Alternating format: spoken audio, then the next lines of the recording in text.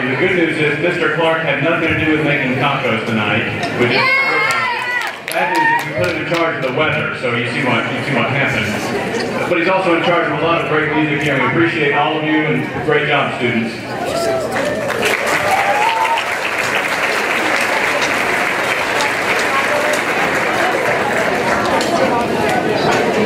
We'll be drawing a few more door prizes here in just a couple minutes.